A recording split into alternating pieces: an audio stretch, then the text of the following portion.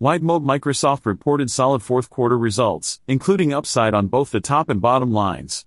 The author of this note sees continued signs of encouragement in important areas like Azure, which did slightly better than their model, and Microsoft 365, which was solid, based on better than expected upsells and renewals.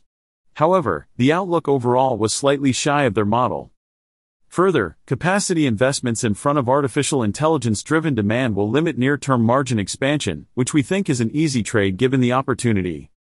The upshot of this is that AI demand is already materializing. Lastly, macroeconomic pressures remain, but don't seem to be worsening. They think results are solid overall, and after advancing their model to account for the firm's year end, they raised their fair value estimate to $360 per share, from $325, and continue to view shares as attractive. They see results as reinforcing their long term thesis centering on the proliferation of hybrid cloud environments in Azure, as the firm continues to use its on premises dominance to allow clients to move to the cloud at their own pace. They center their growth assumptions around Azure, Microsoft 365 E5 migration, and traction with the Power Platform for long-term value creation. They also see a new growth avenue emerging in the form of AI, where Microsoft is positioned as a clear leader. The author of this note is Morningstar analyst Dan Romanoff, CPA.